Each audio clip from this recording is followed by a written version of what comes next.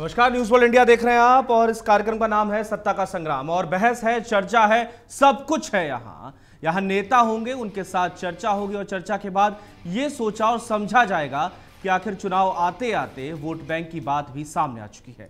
लेकिन इससे पहले आपको बता दूँ कि किस वोट बैंक की आज मैं बात कर रहा हूँ।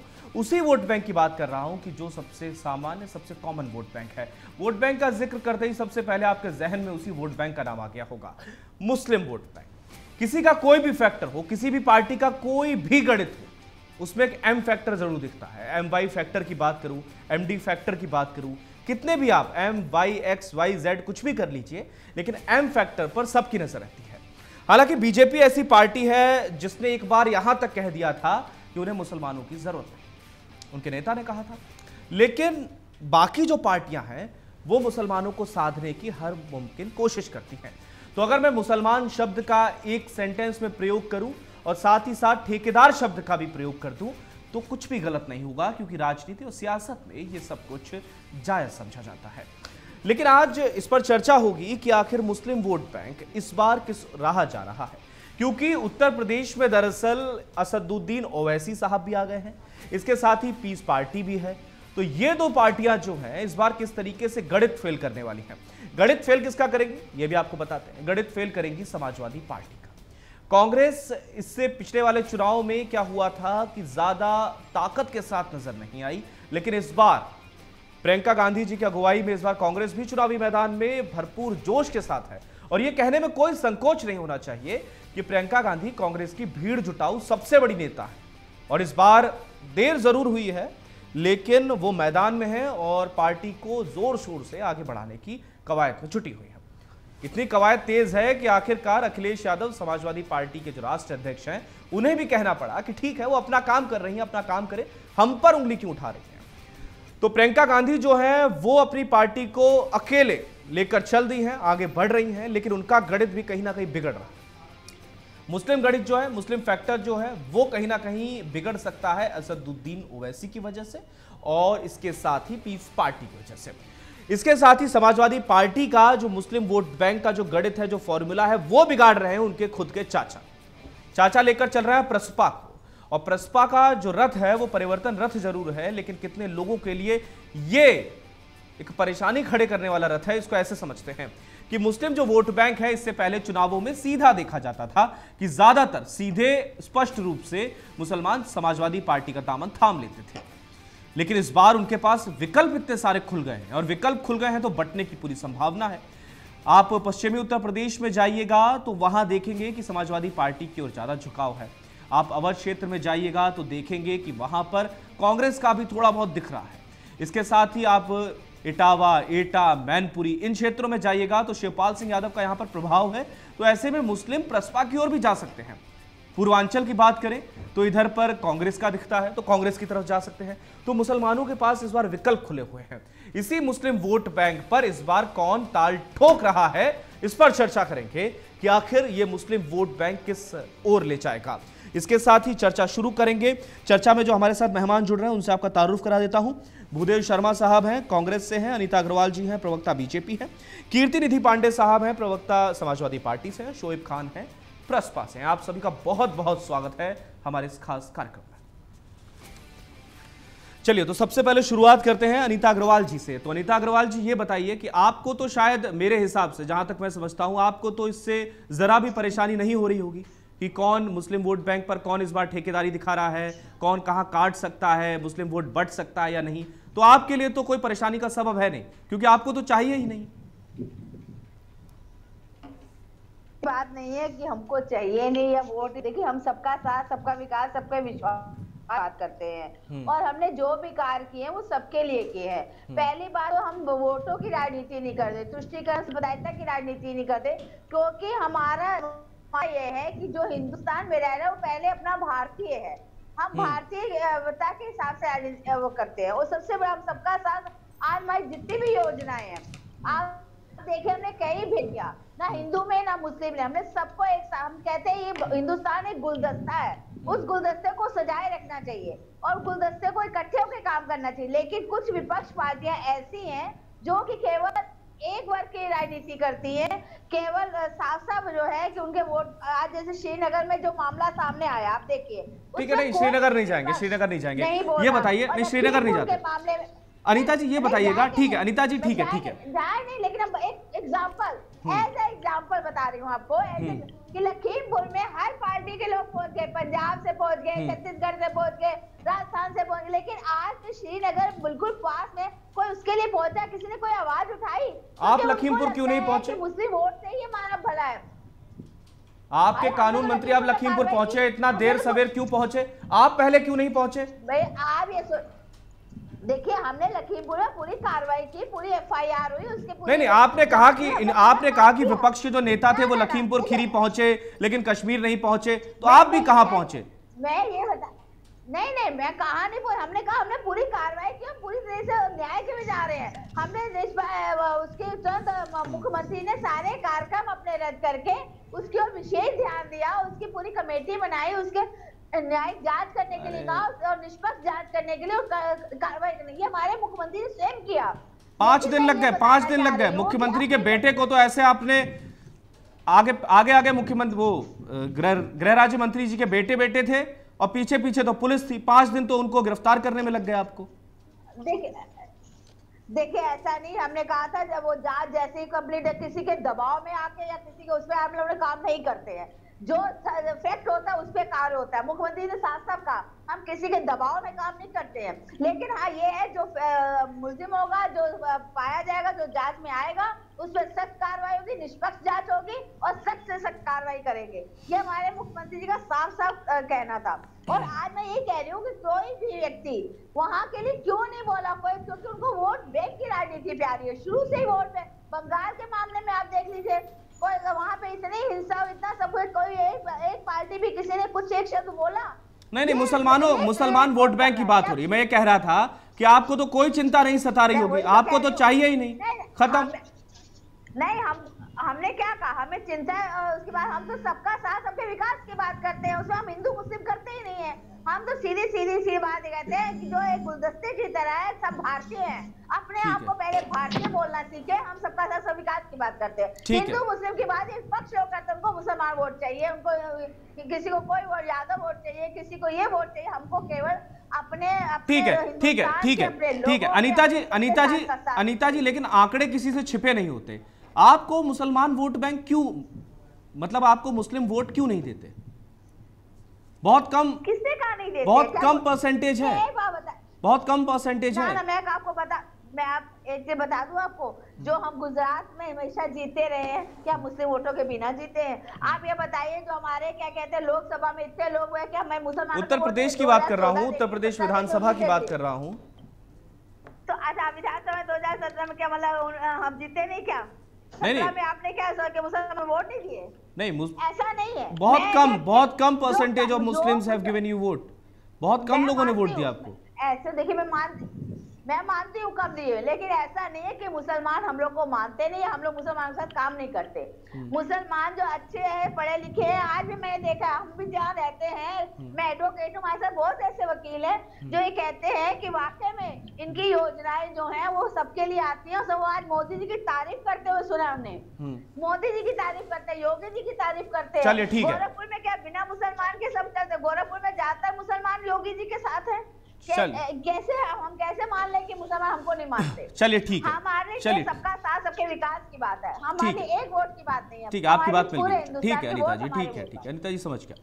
कीर्ति निधि पांडे साहब के पास चलते हैं। कीर्ति निधि जी ये बताइएगा इस बार आपको नहीं लगता कि परेशानी बढ़ती जा रही है? एक तरफ़ प्रसपा भी आ गई है दूसरी तरफ़ कांग्रेस भी आ गई है असदुद्दीन ओवैसी साहब भी आ गए हैं। तो जो आपके एमवाई फैक्टर की बात होती थी वो फैक्टर तो बिल्कुल डिफेक्ट हो चुका है इस बार। देखिए कहीं कोई फैक्टर डिफेक्ट नहीं हम्म।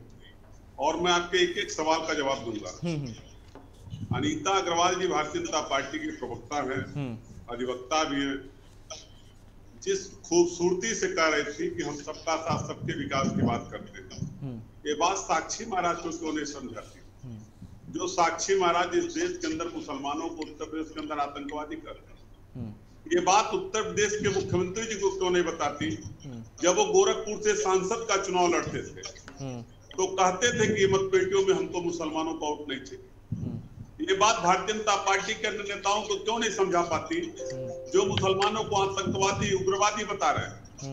ये अपनी सरकार को क्यों नहीं बता पा रही है? जो मुसलमानों के खिलाफ लगातार साजिश कर रही है और एक नए आरोप में लगातार फर्जी गिरफ्तारियाँ करके हिंदू मुस्लिम करने के लिए लगातार प्रयासरत और जहाँ तक समाजवादी पार्टी का सवाल और आप यादवों को को आप प्रस्पा द्वारा नहीं जिसको आप प्रस्पा कह रहे हैं कि प्रस्पा हमको प्रभावित कर रही है उस वोट को प्रस्पा के मुखिया माननीय शिवपाल सिंह यादव जी लगातार इस बात के लिए प्रयासरत है कि उनका ऐलान समाजवादी पार्टी से हो जाए। और हमारे नेता आदरणीय अखिलेश यादव जी लगातार इस बात को कोई समस्या नहीं। वक्त आएगा अलायंस होगा कोई समस्या नहीं है। लगातार तमाम मंचों पर हमारे नेता आदरणीय अखिलेश यादव जी ने कहा कि हम छोटे दलों से अलायंस करेंगे। और एक बात आपको और बताऊँ केवल मुस्लिम वोट का सवाल नहीं है। एमवाई फैक्टर महिलाओं और युवाओं का भी है। अगर मुसलमान यादव का तो महिलाओं और युवाओं का भी आज पूरा उत्तर प्रदेश महँगाई से बेरोजगारी से कानून व्यवस्था से परेशान है। और इसके तमाम उदाहरण है। बिहार का चुनाव देख लीजिए बंगाल का चुनाव देख लीजिए। कहीं भी वैसी साहब कोई फैक्टर नहीं है और कोई भी वोट बंटवारे का सवाल नहीं। नहीं ये इसलिए सवाल है क्योंकि ओवैसी इस बार कह रहे हैं उत्तर प्रदेश में सौ सीटों पर चुनाव लड़ेंगे। वो सौ सीटें होंगी जहाँ पर मुसलमान ज़्यादा संख्या में है। ओवैसी साहब सौ नहीं चार सौ तीन सीटों पे चुनाव लड़े हम्म। उनकी पार्टी है हम्म। वो वो फैसला उनका है वोट तो आपके काटने जाएँगे ना जो मुस्लिम वोट बैंक आपका है उससे वोट वो काट के ले जाएँगे कोई मैंने कहा ना कि मुसलमान यादव महिला युवा बेरोजगार सब एक हाँ। विकल्प बनेगा उत्तर प्रदेश के अंदर समाजवादी पार्टी के नेता आदरणीय अखिलेश यादव जी के नेतृत्व में हाँ। और जितने लोग हम्म। इस महँगाई से मुक्ति चाहते हैं बेरोजगारी से मुक्ति चाहते हैं विकास चाहते हैं लॉ एंड ऑर्डर चाहते हैं सब के सब सारे धर्म छोड़ के सारा वर्ग तोड़ के समाजवादी पार्टी के उस अलायंस के साथ खड़े हो ठीक है लॉ एंड ऑर्डर की बात कर दी आपने। जानती है कि ओवैसी साहब ओवैसी साहब किसकी मदद करेंगे? हम्म। ये उत्तर प्रदेश के लोग जानते हैं तो ओवैसी साहब किसकी मदद करने जा रहे हैं। और तो मतलब आप मानते हैं ना ओवैसी साहब किसकी मदद करने जा रहे हैं मतलब आप मानते हैं ना कि वो आपके वोट काटने जा रहे हैं? हमारा वोट काटने नहीं जा रहे प्रयास करेंगे। वो मतलब जिस भारतीय प्रयास में अगर सफल हो गए तो आपके वोट काट लेंगे। प्रयास में अगर सफल हो गए तो, तो वोट काट लेंगे ना। उत्तर प्रदेश का मतदाता बहुत समझदार है। मैंने कहा ना उसको महँगाई से निजात चाहिए। हम्म। उसको सस्ती बिजली चाहिए। ठीक है आपको किसने विदा किया था? 2017 में आपको किसने विदा किया गया था? 2017 में आपको किसने विदा किया गया था? आपने उसमें क्या सुधार किए हैं? देखिए हम लोग जो डेवलपमेंट के काम किए हम लोगों ने इस बात को कई बार कहा आज मैं फिर कह रहा हूँ। हाँ। और बड़ी ईमानदारी से स्वीकार कर रहा हूँ हम्म। कि आदरणीय अखिलेश यादव जी जो विकास के कार्य किए थे उसको हम जनता तक सही मायने में पहुँचा नहीं पाए। अच्छा। और भारतीय जनता पार्टी उस चुनाव को भी हिंदू मुसलमान के नाम पे लड़ने का काम किया था। हम्म। सबिस्तान शमशान कब्रिस्तान दीपावली और ईद होली इसके बंटवारे देश के प्रधानमंत्री जी का क्या भाषण था? आपको नहीं मालूम? किस तरीके से शमशान और कब्रिस्तान के नाम वोट मांग रहे थे? किस तरीके से दीपावली और होली ईद बकरीद के नाम वोट मांग रहे थे? किस तरीके से कह रहे थे कि ईद में बिजली मिलती है दीपावली में बिजली नहीं मिलती होली में बिजली मिलती है? बकरीद में नहीं मिलती है। जिस तरीके से बंटवारा किया कि शमशान में पैसा लगा कब्रिस्तान में ठीक लगा पैसा शमशान में लगा ठीक है ठीक है समझ गया आपकी बंटवारा किया देश के प्रधानमंत्री जी पूरा उत्तर प्रदेश जानता और देश जानता ठीक है एक ठीक है सब पर एक एक करके चलूँगा फिर डिबेट को खोलेंगे ठीक है। अभी मैं कीर्ति निधि जी के पास ही हूँ। कीर्ति निधि साहब ये बताइएगा कि आपको नहीं लगता कि पहले तो लड़ाई बीजेपी से थी बसपा से भी थी लेकिन कांग्रेस जिस तेज़ी से निकलकर सामने आई है अब प्रियंका गांधी जो लीड कर रही है और लखीमपुर खीरी वाला जो पूरा मैटर है, उसको जिस तरीके से उन्होंने पूरा हाईजैक कर लिया, आपको उसमें कुछ भी नहीं मिला। पूरा लखीमपुर खीरी वाले मैटर में एक लीडर बन के जो छाई रही, वो प्रियंका गांधी छाई रही। लोगों ने कहा कि एक अकेले लड़ रही हैं बीजेपी से। तो आपको नहीं लगता कि आप पीछे रह गए कहीं? अब प्रियंका गांधी भी टक्कर में है आपके सामने।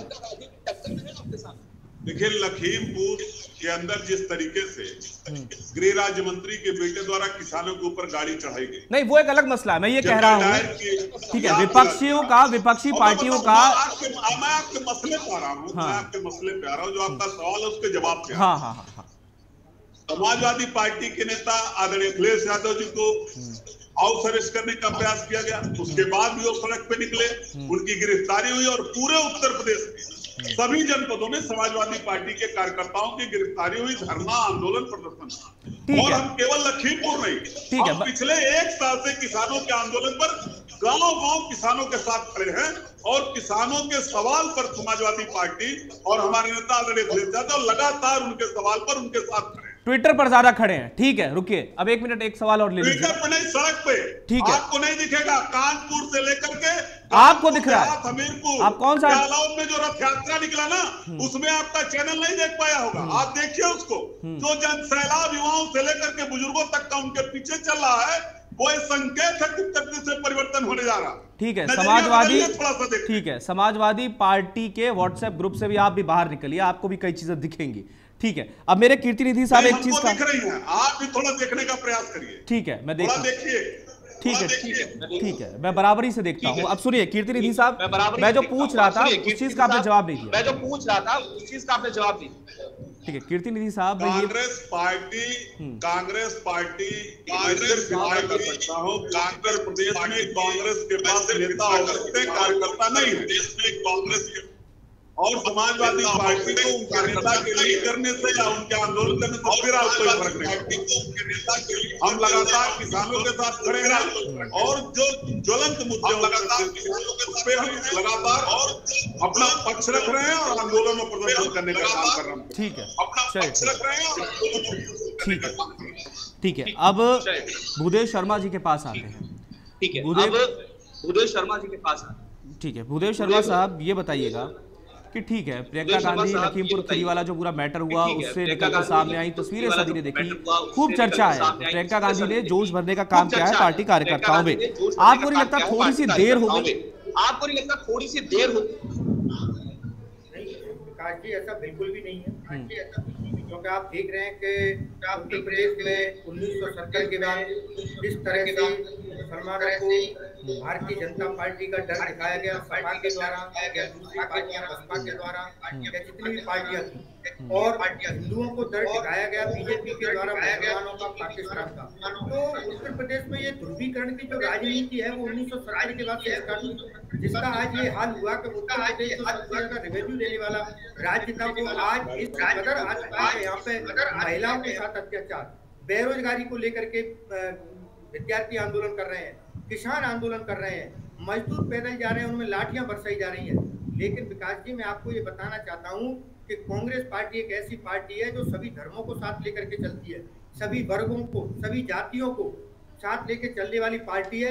हम चाहे राजस्थान में भी तो राजस्थान में भी किसानों पर लाठियाँ चलाई गई लाठी चार्ज किया गया उसकी भी तस्वीरें सामने है। भी जवाब दूँगा। पहले मेरी बात तो पूरी होने दीजिए। हम्म। आज हम किसानों के मुद्दे क्योंकि कांग्रेस पार्टी किसी भी राज्य में चाहे ये देश के चुनाव हो या राज्यों के चुनाव हो हम केवल जो मुद्दे होते हैं उन पर चुनाव लड़ते हैं। आज बेरोजगारी अपने चरम स्तर को छू रही है।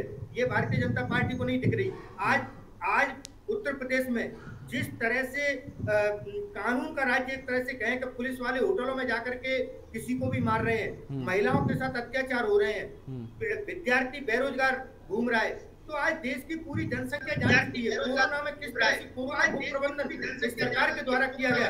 लोग ऑक्सीजन की कमी के कारण तड़प तड़प के मरते रहे। उस समय भी कांग्रेस पार्टी कंधे से कंधा मिलाकर के अपने जान की परवाह किए बिना लोगों की मदद कर रही थी। आज उसी का परिणाम है। प्रियंका गांधी जी के साथ आज पूरे उत्तर प्रदेश का ही पूरे देश का राहुल गांधी जी के साथ युवा खड़ा है। कंधे से कंधा मिला करके आज ये नौबत आ गई है। कि आज सपा को बसपा को या भारतीय जनता पार्टियों को जातिगत आंदोलन करने की ज़रूरत पड़ी है। ये कहीं पर ब्राह्मण सम्मेलन कर रहे हैं कहीं दूसरी जातियों के सम्मेलन कर रहे हैं। तो आप भी तो गंगा जी में डुबकी लगा रहे हैं। किसानों के मजदूरों के बेरोजगारों के इस देश के दलितों के मुद्दे उन पर ही चुनाव लड़ेगी उनके साथ लड़ेगी इस देश को बनाने का काम किया है इसको टूटने का काम किया है नहीं करेंगे। हम नहीं करेंगे। हाँ जी। ठीक है। मैं ये कह रहा था आपने कहा कि सपा बसपा सभी लोग ब्राह्मणों को साधने का काम कर रहे हैं तो आप भी तो गंगा जी में डुबकी लगा रहे थे। बिल्कुल दिक्कत क्या है इसमें? अगर राहुल गांधी जी मंदिर में जाएँ या गंगा जी में डुबकी लगाएँ तो ये दिक्कत होती है। अगर मान लीजिए मोदी जी हो योगी जी हो वो किसी चर्च में जाएँ किसी गुरुद्वारे में जाएँ या फिर किसी मस्जिद में जाएँ तो कोई चर्चा होती है। अरे ये देश ये हमारी जो संस्कृति है वो सभी धर्मों को साथ लेके चलने वाली संस्कृति है। ठीक है तो फिर ये लोग इसी इसी इसी तरीके से इसी तरीके से बसपा अगर इसी तरीके से बसपा अगर ब्राह्मण सम्मेलन कर रही है तो आपको क्या तकलीफ़ है? वो उनको भी साथ लेकर चल हाँ, तो रही है। बिल्कुल हम बता वही हम मैं आपको बताना चाह रहा हूँ विकास जी आपके माध्यम से पूरे देश की जनता को भी ये पता होना चाहिए कि इन्होंने जो अ, की जो राजनीति की है वो उसके कारण आज इनको ये सम्मेलन करने की ज़रूरत पड़ रही है। हम्म। लेकिन कांग्रेस पार्टी ने कभी किसी जाति धर्म के आधार पर राजनीति नहीं की है। हम केवल देश के विकास को लेकर के देश की अर्थव्यवस्था को देश के लोगों के विकास के बारे में बात करते हैं देश के युवाओं के क्योंकि बिना युवाओं के हमारे देश को विश्वगुरु नहीं बनाया जा सकता है। आज उत्तर प्रदेश में जिस तरह से महिलाओं के साथ जो घटनाएँ हो रही है समाज में तो ये चीज़ें पूरा देश देखता है और इनसे आप परेशान है। महँगाई अपने चरम स्तर को छू चुकी है क्योंकि दिन प्रतिदिन पेट्रोल के दाम बढ़ रहे हैं। गैस सिलेंडर एक हज़ार से ज़्यादा का हो गया है। त्योहारों का मौसम है। गरीब आदमी सोच रहा है कि त्योहार बनाए या अपने बच्चों के लिए खाने के का इंतज़ाम करे। और यहाँ पे वित्त मंत्री जी तो प्याज खाती नहीं है। तो ये जो हालात देश के पैदा हुए हैं ये इस सबका परिणाम ये है कि आज पूरे देश का युवा पूरे देश की जनसंख्या आज कांग्रेस पार्टी की तरफ़ देख रही है। क्योंकि आज कांग्रेस पार्टी जो देश को एक अच्छा शासन दे सकती है अच्छी सरकार चला सकती है। ठीक है। चलिए ठीक है शोएब खान साहब के पास आएँगे। प्रगतिशील समाजवादी पार्टी से हैं शोएब जी। शोएब जी ये जानना चाहता था कि आप लोग बार बार कह रहे हैं कि समाजवादी पार्टी के दरवाजे खुले हैं। समाजवादी पार्टी कह रही है कि हाँ हमारे दरवाजे खुले हैं। आपके अगर एक दूसरे के दरवाजे खुले हैं और पहले से आप लोगों का पारिवारिक रिश्ता भी है तो ऐसे में समस्या कहाँ आ रही है? आप लोग साथ क्यों नहीं जा पा रहे? क्योंकि कन्फ्यूज़न की स्थिति पैदा हो गई है वोटर्स के बीच में। अभी चुनाव में वक्त है। ये फैसला हमारे राष्ट्रीय अध्यक्ष जी। हम्म। जो उनका फैसला होगा उस पर हम काम लेकिन तैयारियों में भी समय लगता है ज़्यादा समय नहीं है कुछ ही महीने बचे हैं। ऐसे में आपके तो काफ़ी सारे एक जातिगत जो आपका कोर वोटर है यादवों की बात करूँ या मुस्लिम की बात करूँ ये लोग अभी कंफ्यूजन की स्थिति में है कि जाना कहाँ है? कौन असली समाजवादी है? समाजवादी आदरणीय समाजवादी आदरणीय समाजवादी जमीनी है। जनता की जमीनी राजनीति जनता के साथ अल्पसंख्यकों के जैसे कि आपको जानकारी इतने कम वक्त के अंदर पचहत्तर के पचहत्तर दिनों में आज प्रगतिशील समाज है जो आलम सुखपाल जी के हुक्म बढ़ाने काम कर सकता है। ठीक है लेकिन आपको नहीं लगता कि आप समाजवादी पार्टी को नुकसान पहुँचा सकते हैं? क्योंकि आप उनके जो मुस्लिम वोट बैंक का जो उनका वोटर है उसको आप कहीं ना कहीं अपने में अगर पाले में खींच लाए तो उससे समाजवादी पार्टी का नुकसान हो जाएगा। हम भारतीय जनता पार्टी को 2022 में हराने ठीक है आप भी हराना चाहते हैं समाजवादी पार्टी भी हराना चाहती है। आपको नहीं लगता कि आप दोनों आपस में ही कहीं ना लड़ जाए आपस में ही नुकसान ना कर बैठे एक दूसरे का? नहीं ऐसा कुछ नहीं है। आदरणीय शिवपाल सिंह यादव जी आपसे बात उनको लोग चाहते हैं। और 2022 की चाहती है शिवपाल जी मैं वही तो कह रहा हूँ कुछ लोग अगर शिवपाल जी को चाहते हैं तो कुछ लोग अखिलेश जी को भी चाहते हैं। आप लोग कहीं अपना ही नुकसान ना कर बैठे। नहीं ऐसा कुछ नहीं है। हम जनता के बीच जा रहे हैं, अपनी पार्टी के को लेकर। नेता शिवपाल यादव जी, जब भी सरकार में जो विभाग उनके पास है, जितना काम उनको चलिए ठीक है चलिए ठीक है आपका ठीक है चलिए मिल गया आपका ठीक है चलिए ठीक है ठीक है ठीक है ठीक है। अब कीर्ति निधि पांडे साहब के पास आना चाहूँगा। कीर्ति निधि जी ये बताइए कि मुस्लिम वोट बैंक यहाँ अगर 19-20 परसेंट जो है उसको इस बार आपको क्या लगता है? क्योंकि शिक्षा के लिए आज तक सबसे पीछे रहे हैं ये। इसमें कोई कोताही नहीं हम हमको और आपको बात करने में। विकास की चीज़ों में सबसे पीछे रहे हैं जहाँ पर ये बहुल ज़्यादा संख्या में है वहाँ पर उन क्षेत्रों में आज भी हम देखते हैं कि विकास इतना ज़्यादा नहीं हुआ है। शिक्षा को लेकर अभाव है। और ऐसे में इनको कैसे जागरूक किया जाएगा कैसे आगे बढ़ेंगे इनको लेकर इनके लिए कुछ करने की ज़रूरत है? इसके लिए क्या प्लान है आपके पास? देखिए विकास जी समाजवादी पार्टी की जब जब सरकार बनी है तो मुस्लिम समाज के उत्थान के लिए हम लोगों ने काम किया। और नेताजी की सरकार में हम्म, आप ही की सरकार में मुजफ्फरनगर दंगे हुए काफ़ी मुस्लिम उसमें मारे गए हम अपनी बात कह ले फिर आपकी बात का जवाब भी देंगे। ठीक है नहीं आपने कहा उत्थान किया तो मुझे याद आ गया। हाँ बताइए। दंगे तो गुजरात में भी हुए थे। जी? नहीं हुए गोधरा में?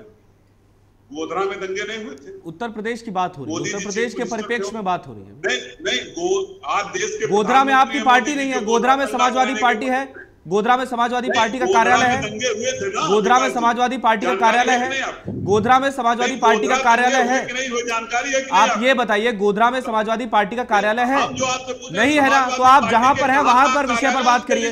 उत्तर प्रदेश की बात हो रही है वहाँ की बात करिए। अभी आप कहेंगे जर्मनी में दंगे नहीं हुए। अभी आप कहेंगे जर्मनी में नहीं हुए अमेरिका में नहीं हुए कश्मीर में नहीं हुए केरला में नहीं हुए। आप जहाँ पर है जिस दंगे परिप्रेक्ष्य की बात हो रही है उसकी बात करिए। और मैं आपको उसके अभी आपने कहा कि क्या प्लान है? हाँ तो मैं अभी प्लान मैं आपको जवाब देना शुरू किया था आप दंगे पे आ गए। आप दंगे पर आए आप गोधरा पहुँच गए मैं मुजफ्फरनगर की बात कर रहा हूँ आपने उत्थान की बात की। आपने कहा कि तो हमारी सरकार में हमारी सरकार में उत्थान किया जाएगा। तो मैं वही पूछ रहा था कि कैसे उत्थान करेंगे? मैं आपको बता पिछली बार आपको मौका दिया जनता ने आपकी सरकार बनी। क्या उत्थान किया आपने? तो बता रहा हूँ कि मैं समाजवादी पार्टी जब जब उत्तर प्रदेश के अंदर सरकार बनी है मुस्लिम समाज के लोगों के उत्थान के लिए काम और समाज में जो मदरसे भारतीय जनता पार्टी और देश के सामने आईएसआई का अड्डा बताने में लगे थे, उन मदरसों को मिनी आईटीआई का दर्जा देने का काम समाजवादी पार्टी की सरकार और ये व्यवस्था बनी कि जो लोग हज़ार पंद्रह सौ दो हज़ार वेतन पाते थे उनको पूरा अध्यापक का वेतन देने का काम समाजवादी पार्टी की सरकार में हुआ। ठीक है आपकी सरकार के काफ़ी लोग अभी जेल में हैं उनके लिए आप क्या करेंगे? मुख्तार अंसारी की बात करूँ ठीक है आज़म खान साहब भी जेल में ये सब लोग जो जेल में हैं तो आपको नहीं लगता कि काफ़ी मुस्लिम इस चीज़ से भी नाराज़ हैं? कि आपकी पार्टी में मंत्री रहे इसके बाद जेल चले गए आप लोगों ने कुछ किया भी नहीं उनके लिए? विकास जी विकास जी कुछ धैर्य बना के सुन लेते मैं एक एक सवाल के आपका जवाब देता रहता। एक सवाल पूरा नहीं हुआ जवाब तो फिर दूसरा सवाल आप पूछा। हम्म, हम्म। और मिनी आईटीआई जरा हमको मौका दे दिए इनको जवाब देने का अरे आप सत्ता में आपके पास तो मौका ही मौका है इनको बोल लेने दीजिए थोड़ा सा। ठीक है बोलिए आप कीर्ति जी। अपनी भाषा के साथ साथ टेक्निकल पढ़ाई करके रोज़गार से जोड़ने का काम किए। हम्म अल्पसंख्यक बेटियों को हाई स्कूल पास होने के बाद अखिलेश यादव जी की सरकार में हम्म। तीस हज़ार रुपया हम लोग उनको देते थे आगे पढ़ने लिए। हम्म। और जो भी और जो जौहर यूनिवर्सिटी से लेकर के जितने मदरसे और कॉलेज खोलने की व्यवस्था हमारी सरकार में एप्लीकेशन है उन सबको हम लोगों ने अनुमति दिया। खोल लिया जाए और लोग शिक्षा के में आगे बढ़े। क्योंकि कोई समाज जब शिक्षित होगा तभी आगे बढ़ेगा तभी अपने और हकों के लिए लड़ाई। हम लोग उस दिशा में लगातार काम कर रहे हैं। लगातार काम कर और और जो लगातार समाज जो लगातार समाज मदरसों मदर के बाद कब्रिस्तान के बाद कब्रिस्तान कब्रिस्तान को लेकर के लगातार बवाल हो रहे थे उसको भी सिक्योर करने का काम समाजवादी पार्टी के सरकार में किया गया। हम्म। और समाजवादी पार्टी लगातार उनके पक्ष में और खड़ी रही। मुसलमानों के पक्ष में आप खड़े रहे इसलिए आपको नहीं लगता कि हिंदू वोटर आपसे नाराज़ हो गया? वही तो आरोप है आप पर कि आप ज़्यादा अपीजमेंट करते हैं आप अपीजमेंट ज़्यादा करते हैं। मुसलमान वोटरों को लुभाने के लिए आप अपीजमेंट ज़्यादा कर बैठे। मैं आपको बता रहा हूँ विकास जी मैं बता रहा हूँ। हाँ। पचपन लाख महिलाओं को जो हमने समाजवादी पेंशन दिया हाँ। क्या उसमें कोई जाति धर्म के आधार पर दिया? हाँ। जो हमने 20 लाख नौजवानों को इंटर पास के बाद लैपटॉप दिया क्या कोई जाति और धर्म के आधार पर दिया? क्या हमने जो साइकिल वितरण किया लोगों को क्या वो जाति और धर्म के आधार पर दिया? यही तो बीजेपी कहती है कि हमने उज्ज्वला योजना में ठीक है यही बीजेपी कहती है ठीक है यही बीजेपी कहती है कि हमने उज्ज्वला योजना में जो सिलेंडर दिए क्या धर्म देख कर दिए? ये सही बात है। वो कहते हैं कि जब हमने प्रधानमंत्री आवास योजना के तहत विकास जी उज्ज्वला योजना के सत्तर परसेंट सिलेंडर दोबारा रिफिल नहीं हो पाए महँगाई के कारण। ठीक है बिजली महँगी हो गई तो शायद आपके लैपटॉप भी अब ना चल पा रहे हो। बिजली आप आप ज़मीन पे सर्वे करिए। ज़मीन पे सर्वे करिए कि क्या जो। उज्ज्वला योजना में सिलेंडर दिए गए जो बिजली भी महँगी हो रही है उससे भी लोगों को दिक्कत है। बिजली की महँगाई से भी दिक्कत है। मतलब आप मानते हैं, आप- आप ठीक है। मतलब- रोज़गार कर रहे हैं। ठीक है, आप मतलब- रोज़गार कर पा गए। ठीक है आप मतलब मान रहे हैं इस बात को कि सिलेंडर घर घर बांटे गए। उज्ज्वला योजना में जितने गरीबों को सिलेंडर दिए गए उसका सत्तर परसेंट नहीं दोबारा रिफिल हुआ। वो फिर चूल्हा फूकने को मजबूर है। ठीक है मतलब गरीब सौ का सिलेंडर आज एक हज़ार में है। ठीक है गरीबों को सिलेंडर दिए गए। जो उज्ज्वला योजना जो थी सिलेंडर देने वाली वो आप मान रहे हैं। तो मैं भी वही बता रहा हूँ। दोबारा भरा नहीं गया। ठीक है जो जो योजनाओं का आप ज़िक्र करते हैं वैसे ही बीजेपी योजनाओं का ज़िक्र करती है कि हमने आवास योजना के तहत आवास बांटे हमने हिंदू मुसलमान नहीं देखा। अपने उज्ज्वला योजना में सिलेंडर बांटे हिंदू मुसलमान नहीं देखा। बाकी तमाम योजनाओं की जब वो बात करते हैं वो भी यही कहते हैं। उसके बाद भी तो विकास जी आप सवाल करते हैं उनको वोट क्यों नहीं मिलता है? अगर वो पारदर्शिता के साथ काम करते हैं तो उनको वोट क्यों नहीं देता? नहीं, वो तो- उत्तर प्रदेश या हिंदुस्तान का। नहीं वोट की वही बात बता रहा हूँ आपको वो तो तो बंटवारे के वो तो बंटवारे के आधार पर वोट चाहते हैं बहुसंख्यक समाज का वोट चाहते हैं। ठीक है, वो सीधे आरोप लगा देते हैं कि समाजवादी पार्टी जो है वो मुस्लिम अपीजमेंट का काम करती है, इसलिए इनको मुस्लिम वोट मिलता है। नहीं समाजवादी पार्टी सबके लिए काम करती है। मैं तो पूछ रहा हूँ ना कि काना स्टेडियम बना क्या किसी जाति धर्म के लिए बना है? समाजवादी पार्टी जाति कहा विशेष के लोग चल रहे हैं? है? क्या उत्तर प्रदेश नहीं, नहीं, रुकिए। बनाओ किसी जाति धर्म अनिता जी अनिता जी आप पर आ रहा हूँ। अनिता जी थोड़ा सा थोड़ा सा ठहरे। पूरे प्रदेश के अंदर जो तमाम एम्स बनाने के लिए हमने ज़मीन लिया किसी जाति धर्म के लिए लिया। जो सड़कें बनी वो किसी जाति धर्म के लिए बनी है। जो मेट्रो बनाओ किसी जाति धर्म के लिए चलने के लिए बना है। अच्छा ठीक है चलिए। समाजवादी पार्टी एक बात के मैं कहना चाहती है। ठीक है अब अनिता जवाब देंगे अनिता जी जवाब दीजिए। ठीक है अब अनिता जी जवाब देंगे अनिता जी जवाब दीजिए। देखिए समाजवादी पार्टी हो चाहे कांग्रेस पार्टी हो ये सब केवल एक तरफा वोट की राजनीति करने वाली पार्टियाँ हैं क्योंकि आपने मुजफ्फरनगर कांड में देखा है लोगों का पलायन कैसे हुआ। और दूसरी बात आपने ये भी देखी है कि जब अखिलेश जी ने वो कहा था कि इसमें मुस्लिम बेटियों का अधिकार है आपकी सरकार ने मुजफ्फरनगर के दंगाइयों को मंत्री बना दिया। पहले शांत हो आपकी जाइए। सरकार ने मुजफ्फरनगर के दंगाइयों को मंत्री बना दिया। हमने सुना ना नहीं, आपकी सरकार ने मैंने भी जवाब देते चलिए। आपकी सरकार ने उन दंगाइयों को मंत्री बना दिया, मुकदमे वापस ले लिए। आपने आज समाजवादी पार्टी ने आतंकवादियों के पक्ष में मुकदमे किए नहीं आपके के पक्ष में मुकदमे किए मुख्यमंत्री जी अपना मुकदमा स्वयं वापस ले लिए।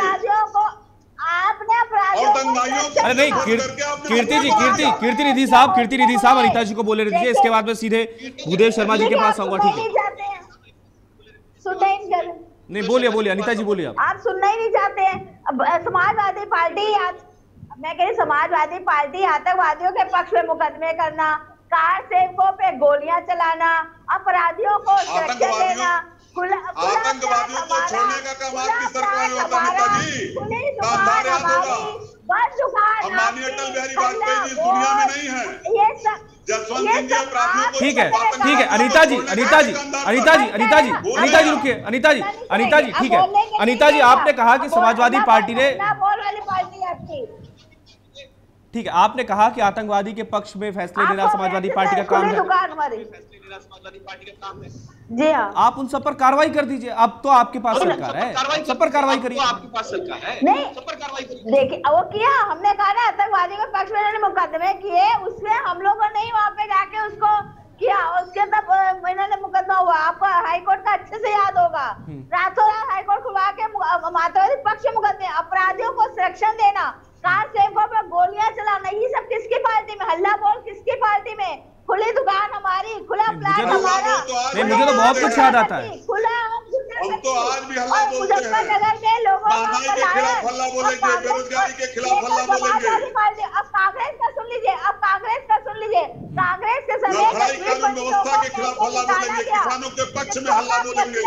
आम किया गया सिखों का कत्ले आम किया गया मनमोहन सिंह जी ने पहले का इस देश में सबसे पहला अधिकार मुसलमानों का है ये लोग शुरू से ही एक तरफा राजनीति वोटों की राजनीति करते चले आए। हमने सबका साथ सबके विकास की बात की है सब पर विश्वास की बात की है। हम कहते हैं जो हिंदुस्तान है, तो पहले मुझे हिंदुस्तानी है बिल्कुल आप पर ही आ रहा हूँ बिल्कुल आप पर ही आ रहा हूँ। ये ठीक है ठीक है अनिता जी अनिता जी एक मिनट रुकिए अनिता जी अनिता जी अनिता जी एक मिनट रुकिए अनिता जी ठीक है अनिता जी एक मिनट रुकिए अनिता जी ये बताइए अनिता जी 2015 में 2015 में घटना हुई थी दो ठीक है। थी उस घटना में दादरी के एक बिसाड़ा गाँव था। एक बिसाड़ा गाँव था। जहाँ पर एक मुस्लिम युवक की हत्या कर दी गई थी। पर एक मुस्लिम युवक उस मामले में उस वक्त 19 आरोपी बनाए गए थे। वक्त 19 आरोपी आपकी सरकार आते ही उन सभी को छोड़ दिया गया ही सारे मुकदमे वापस ले लिए गए। सारे मुकदमे और जिसकी हत्या हुई थी उसके लिए कहा गया कि उनको जो जो दिया गया है मुआवजे के तौर पर सब वापस दिया जाना चाहिए। वो सब आप लोग भी तो एंटी मुस्लिम तो करते हैं चीज़ें। उनका जवाब क्या है आपके पास? बिल्कुल। कई ऐसी चीज़ें देखी गई हैं। जहाँ पर जो दंगे होते हैं हिंदू मुस्लिम के उसमें जो हिंदू है उनको आपकी पार्टी बचाने की एक स्टेज पर खड़ी होती है उसका स्टैंड होता है। मुजफ्फरनगर दंगे में जो लोग आरोपी थे आज वो लोग बाकायदा एक अच्छी पोजीशन पर स्टैंड करते हैं। देखा होगा मुजफ्फरनगर कांड के लिए। आपने आप- देखा होगा आपको नहीं लगता कि पार्टी- कैसे लोगों का पलायन हुआ? नहीं नहीं लोगों को हुआ है वहाँ पे। कैसे लोग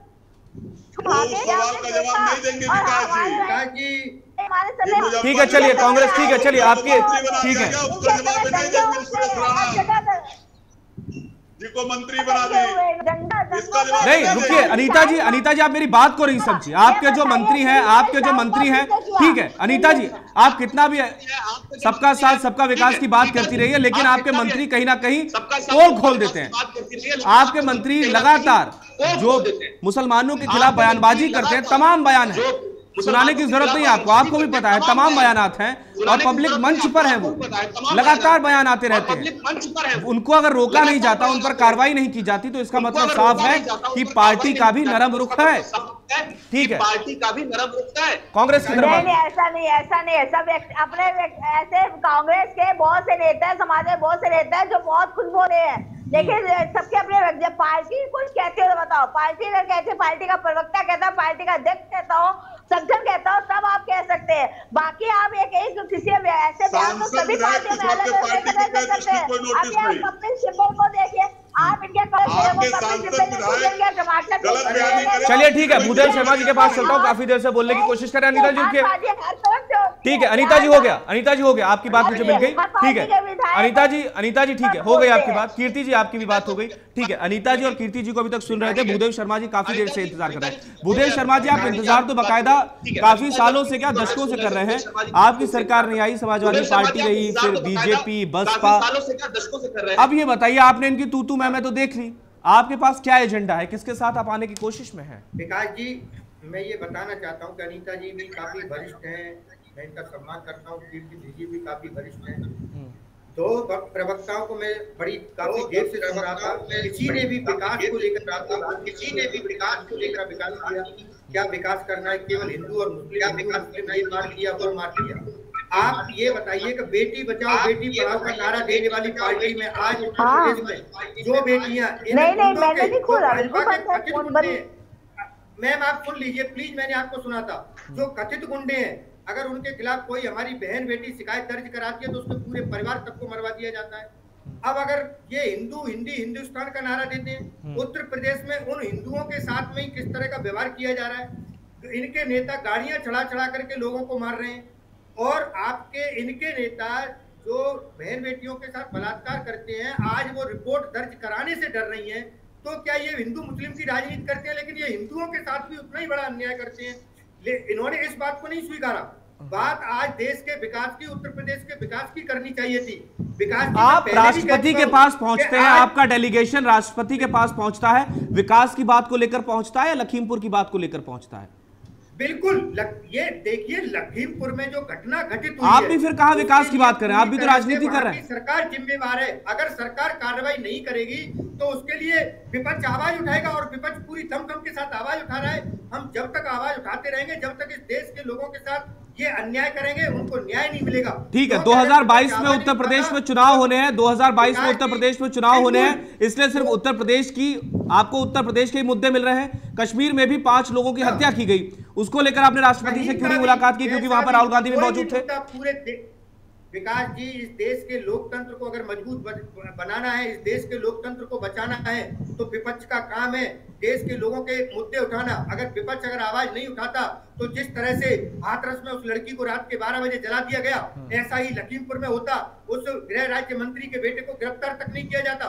पाँच दिन हो गए गिरफ़्तार विपक्ष अपने एक्टिव रूप से काम कर रहा है और मैं निश्चित तौर पर कह रहा हूँ देश का युवा किसान मजदूर और सभी वर्ग कांग्रेस पार्टी के साथ हैं। श्रीनगर में 2022 क्यों नहीं बोलते? निश्चित रूप से वहाँ हमारी सरकार बनेगी आप चाहे कितना भी बोल लीजिए क्योंकि आपके इस भ्रष्टाचार से आपके आतंक से पूरा उत्तर प्रदेश ही नहीं जरा श्रीनगर में भी कोई बयान दे दीजिए। मुसलमान ही नहीं आपसे हिंदू भी परेशान है क्योंकि आपको एक एक तरफ़ की राजनीति करनी है। कोई भी सवाल करता है आपकी ठीक है एक सेकंड एक सेकंड रुकिएगा एक सेकंड कीर्ति जी कीर्ति जी कीर्ति जी कीर्ति साहब कीर्ति साहब कीर्ति साहब आपको मौका मिलेगा। कीर्ति साहब आप रुकिए आपको मौका? भूदेव कीर्ति साहब आपको मौका मिलेगा। भूदेव जी। जम्मू कश्मीर के अंदर कोई दुर्घटना हो रही है तो। कीर्ति साहब आप रुकिए थोड़ा सा आपको मौका मिलेगा। कीर्ति साहब। कीर्ति साहब आप रुकिए आपको मौका मिलेगा? कीर्ति साहब आप रुकिए आपको मौका मिलेगा? भूदेव साहब। आपको मौका मिलेगा किसी को आपको क्या मौका मिलेगा ठीक है ठीक है। भूदेव साहब भूदेव साहब। ठीक है, ठीक है। भूदेव साहब, भूदेव साहब, ठीक है, ठीक है। सपा बसपा और भारतीय जनता पार्टी है। ठीक है। भूदेव साहब मैं ये जानना चाहता था भूदेव भूदेव साहब मैं ये जानना चाहता था कि ठीक है बीजेपी से आपकी सीधी लड़ाई है ठीक है वो सत्ता में है ठीक है। आप किसको कॉम्पिटिटर मान रहे हैं अपना? समाजवादी पार्टी को मानते हैं बसपा को मानते हैं किसको मानते हैं? विकास जी। भारतीय जनता पार्टी के साथ ही अपना कंपटीशन है। सपा और बसपा कहीं पर भी इस बार इलेक्शन में नहीं है, क्योंकि आप मानिए, क्योंकि ये तो जिस तरह से ये हुए हैं, इन्होंने जो विपक्ष के बाद लोगों की आवाज़ को नहीं उठाया, इनका काम था कि उत्तर प्रदेश के जो मुद्दे हैं उनको उठाना चाहिए था। लेकिन ये बसपा की तो बात ही मत कीजिए। बसपा तो अब बी पार्टी बन चुकी है भारतीय जनता पार्टी की। लेकिन सपा के नेता जो डरे हुए हैं आज भारतीय जनता पार्टी से इतने डरे हुए हैं कि किसी भी प्रकार के मुद्दे को उठाने में ये सौ बार सोचते हैं। जब कांग्रेस पार्टी के नेता जब मुद्दा उठाते हैं तब पीछे से ये लग करके आते हैं। ठीक है। पूरा उत्तर प्रदेश के लोग उत्तर प्रदेश के युवा ठीक है, ठीक है, बिल्कुल आ रहा हूँ, आप पर भी आ रहा हूँ, ठीक है। जान चुके हैं। ठीक है, कीर्ति- ठीक है, कीर्ति- कीर्ति साहब से- ठीक है, ठीक है। कांग्रेस की सरकार बनेगी। और वहाँ वापसी होगी हमारी। ठीक है कीर्ति साहब से कमेंट लेकर सीधे शोएब भाई के पास चलेंगे। कीर्ति साहब ये जानना चाहता हूँ कितना डरे हुए हैं आप बीजेपी से? देखिए विकास जी कांग्रेस पार्टी को अधिकार है मुंगेरी लाल के हसीन सपने देखने का। हम्म। और लखीमपुर की घटना में हम्म। छत्तीसगढ़ के मुख्यमंत्री को लखीमपुर आने की फुर्सत थी। हम्म। लेकिन छत्तीसगढ़ में दंगे हुए थे। छत्तीसगढ़ में कवर्धा में, कवर्धा में, कवर्धा में। वहाँ उनको हालचाल लेने की फुर्सत नहीं थी हम्म। पंजाब में किस तरीके से कैप्टन अमरिंदर का इस्तीफा हुआ किस तरीके से कैप्टन अमरिंदर हटाए गए किस तरीके से कैप्टन अमरिंदर पहला बदलने वाले हैं सरकार उनको- उनको इस बात की चिंता नहीं है। और मैं सरकार इनको चुनौती देता हूँ और भारतीय जनता पार्टी को हो, कि हमारे नेता के खिलाफ कहीं कोई भ्रष्टाचार हो उसका कोई आरोप उन आरोपियों को पकड़ के जेल में आरोप डाला। तो प्रियंका जी के पतिदेव बहरावत बाहर- घर साहब पर बाहर उनके आने लगातार के ईडी दफ्तर के चक्कर लगा रहे हैं। क्या आइए और प्रियंका गांधी भी उनके पीछे पीछे ईडी दफ्तर जाती हैं। उस समझिए पे बुद्धदेव जी को जवाब देना चाहिए। कार्रवाई और- जल्दी की जाती है। कांग्रेस पार्टी मुंगेरी लाल के हसीन सपने देखती रहे। इससे कोई उनको रोकने नहीं जा रहा। पूरी तरह से और आने वाला वक्त डरी हुई है क्योंकि ये बताएगा इनको जनता किसके साथ। है भारतीय जनता पार्टी उस भ्रष्टाचार को उजागर करने का इनको डर दिखाती हो या किसी भी तरह का चलिए, ठीक है, ठीक है, ठीक है। लेकिन हमारे नेता राहुल गांधी जी निडर होकर के प्रियंका गांधी बेखौफ होकर के इस अरे देश राहुल गांधी साहब तो दिखे ही रहे नहीं राहुल गांधी साहब तो दिखे ही नहीं राहुल गांधी साहब उत्तर प्रदेश में कहाँ दिखे राहुल प्रियंका गांधी लीड कर रही है राहुल गांधी साहब तो दिखे ही नहीं। राहुल गांधी साहब तो जब से अमेठी से गए हैं तब से दिखे ही नहीं।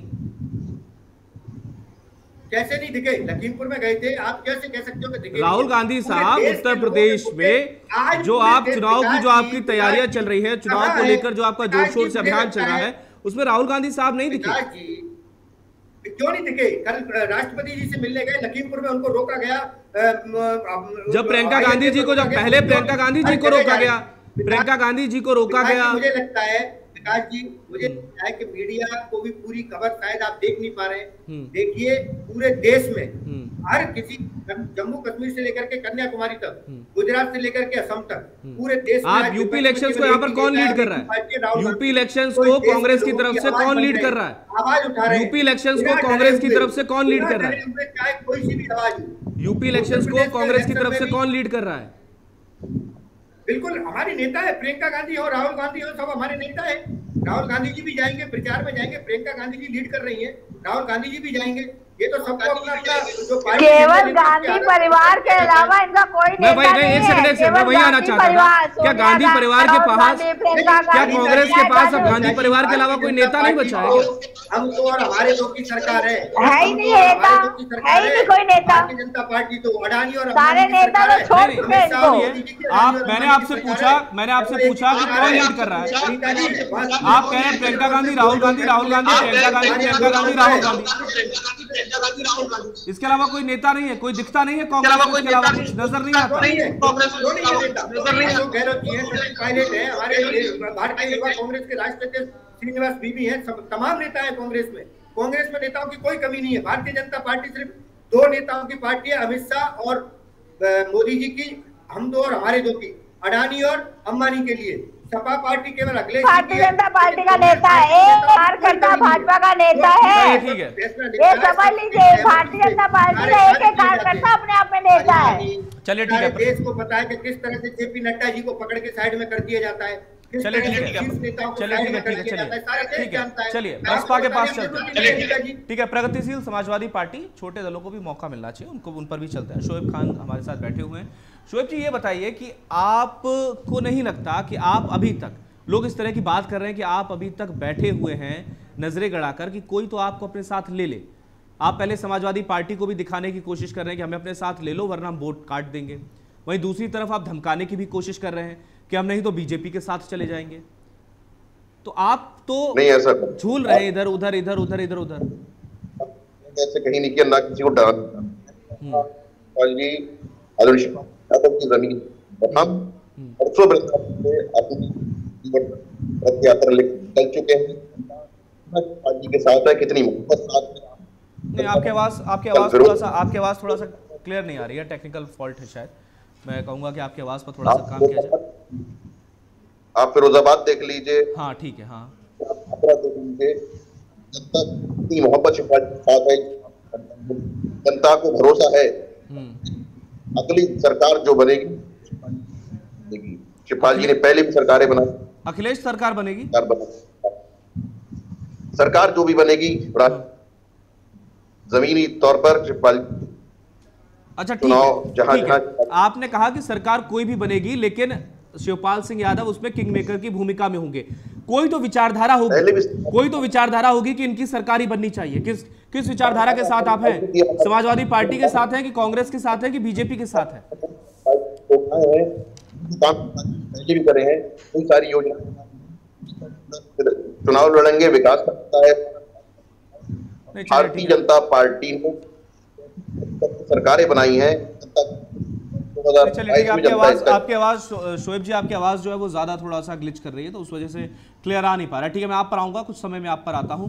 ठीक है मैं कुछ समय में आप पर आऊँगा। उससे पहले अनीता अग्रवाल जी के पास जाऊँगा। अनीता अग्रवाल जी तो कांग्रेस सपा ये जो आपके विपक्ष में है इस समय आप इनमें किसको आप सीधे मना मत कीजिएगा कि किसी को कॉम्पिटिटर नहीं मानते आप आप दोबारा से ठीक है वो सब आपका है। लेकिन आपको क्या लगता है कि इस समय कॉम्पिटिटर की जो भूमिका है उसमें आप किसको मान रही हैं किसको देख पा रही हैं? क्योंकि सब एक दूसरे पर आरोप लगाते हैं कि वो आपकी बी टीम है वो आपकी बी टीम है असदुद्दीन आपकी बी टीम है कोई बसपा को आपकी बी टीम बताता है। मैं तो ऐसी ऐसी जगह गया हूँ जहाँ सपा को भी तो आपकी बी टीम बता जगह- देंगे आपने शायद म्यूट कर रखा है हमारा हाँ। नहीं नहीं आपकी आवाज़ आ रही है हाँ, बोलिए। सबसे बड़ी हाँ नहीं नहीं आपकी आवाज़ आ रही बोलिए। ठीक। हम ये कह रहे हैं सा- सारी पार्टियाँ एक दूसरे का सहयोग लेके इलेक्शन लड़ चुकी है सत्रह में भी चौदह में भी सब एक दूसरे के साथ खड़े होकर Bharatiya Janata party versus all नहीं तो ऐसा तो आप भी करते हैं आप भी निषाद पार्टी के साथ है अपना दल के साथ है आप भी छोटे छोटे लेते हैं सबको साथ में उसमें कोई बुराई नहीं नहीं। ले- नहीं लेकिन हमने नहीं। बुराई नहीं है लेकिन बीजेपी वर्सेस और कई लोग हो चुके हैं। लेकिन अब जनता ने इनको जवाब चौदह में भी दिया है सत्रह में भी दिया है उन्नीस में भी दिया है। अब आप देखिए बाईस में भी देखो कि हमने विकास किया है। हम अंत्योदय को लेके चल रहे हैं जो सबसे आखिरी पंक्ति पे लोग खड़े हैं उनका साथ लेके चल रहे हैं। हमने ज़मीन तक विकास पहुँचाया आवास दिए शौचालय दिए उज्ज्वला योजना सौभाग्य योजना आयुष्मान योजना शिक्षा पे हर चीज़ पे हमने ध्यान दिया और ये जनता देख लो आज विश्व आज पूरे विश्व में मोदी विश्व में भारतीय जनता पार्टी की बात हो रही है। ये थोड़ा ज़्यादा नहीं हो गया अनीता जी? सबसे अलग है और सब जान रहे हैं। विश्व में बात हो रही है। ठीक है। आवाज़ नहीं आ रही। ठीक है कीर्ति निधि साहब के पास आएँगे। कीर्ति निधि साहब अनिता जी तो कह रही है कि पूरी विश्व में भारतीय जनता पार्टी के विकास की बात हो रही है। देखिए अनिता जी तो अगर कोई और जगह होता तो वहाँ भी मोदी जी का डंका बजाती है। अभी हाँ आवाज़ आई अब आवाज़ आ रही है? एक मिनट। विकास जी तो विकास की बात कर रही है। एक मिनट हमारी बात पूरी नहीं हुई थी हमारी बात पूरी नहीं हुई थी। हम ये कह रहे हैं हमारा विकास के आधार पे ही हम आगे करेंगे जनता से अच्छा बोल लीजिए तो थोड़ा मौका सबके। विकास। की बात की और इसी विश्वास के साथ आगे बढ़े। ये मोदी को वैक्सीन में भी हमने सबसे ज़्यादा में नहीं दिखी। जनता के साथ कोई नहीं दिखी। केवल वोटों की राजनीति, लाशों पे राजनीति करने के लिए पार्टियाँ खड़ी हो जाती है। बाकी जनता के काम के लिए कोई भी पार्टी नहीं आई। है जनता देख रही है अच्छे से। हमारा एक एक कार्यकर्ता जनता के साथ जुड़ा, बूथ स्तर पे हमारा मजबूती है। बूथ स्तर पे किसी का नहीं एक बात बताइए एक बात बताइए अनीता जी आप कह रही हैं अनीता जी आप कह रही हैं कि कोई भी पार्टी जो है वो जनता के कामों के लिए सामने नहीं आती भैया सरकार में आप हैं बाकी पार्टियाँ क्या बिल्कुल। करेंगी अरे आप अच्छा जनता से आप वोट ले सकते हैं कोरोना काल में उनकी मदद नहीं कर सकते।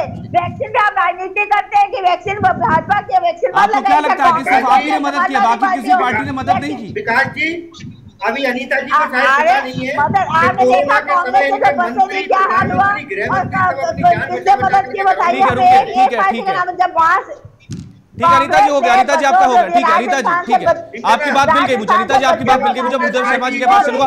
ठीक है अनीता जी आपकी बात मिल गई मुझे अनीता जी आपकी बात मिल गई मुझे भूदेव शर्मा जी के पास चलूँगा। भूदेव शर्मा साहब अनीता जी सीधे तौर पर कह रही हैं कि सब कुछ हम ही ने किया कोरोना काल की बात कर ले तो भी सब कुछ हमने किया लेकिन विपक्ष की जो जिम्मेदारियाँ होती है वो भी आपके द्वारा नहीं निभाई गई। कोरोना के समय में विकास जी मैं बताना चाहता हूँ कि कोरोना के समय में पूरे देश को जानना चाहिए और मुझे लगता है पूरा देश जानता भी है कि भारतीय जनता पार्टी के प्रधानमंत्री हो गृह मंत्री हो शिक्षा मंत्री हो जो भी हो जितने भी सांसद थे अपनी जान बचा करके घरों में दुबके हुए थे भारतीय युवा कांग्रेस के सिपाही गलत बता रहे हैं गलत बता रहे हैं। हमने राजस्थान से बच्चों को जब लाए हैं कांग्रेस ने मना कर दिया बच्चों को हमने बच्चों को घर घर तक पहुँचाया ठीक है, भूदेव शर्मा साहब, तब प्रियंका गांधी नहीं दिख रही थी उत्तर प्रदेश में। को निकाल दिया। के कोई नज़र नहीं आया। जनता हज़ारों लोगों के घरों में खाना। पहुंचाना चलिए ठीक है, चले ठीक है, चले ठीक है, हो गया। हमारे कार्यकर्ताओं ने किया। कांग्रेस पार्टी थी। लेकिन कोई भी पार्टी में चलिए, ठीक है। भारतीय जनता पार्टी के अलावा। चलिए ठीक है चलिए ठीक है चलिए ठीक है। चलिए ठीक है चलिए ठीक है चलिए ठीक है। समय की कमी के कारण यही रोक रहा हूँ। बहुत बहुत शुक्रिया बहुत बहुत धन्यवाद आप सभी का हमारे साथ जुड़ने के लिए। तमाम बातें रखने के लिए बहुत बहुत शुक्रिया आप सभी का।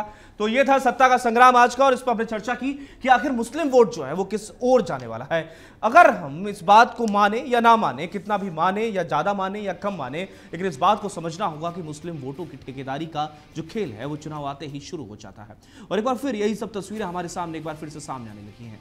हर पार्टी, मुस्लिम वोट बैंक का जो दाव है, जो पूरा पैकेट है, उसको हथियाने की तमाम कोशिशें कर रही है। लेकिन ऐसे में ये मुस्लिम वोट बैंक इस बार किस ओर सरकता नज़र आ रहा है? इसी पर आज की चर्चा हुई, जिसको लेकर हमने बातचीत की और जानने की कोशिश की कि आखिर मुस्लिम वोट की इस बार जो पैरोकारी है, वो आखिर कौन सी पार्टी कर रही है? कल एक बार फिर आपसे मुलाकात होगी। तब तक के लिए शुक्रिया।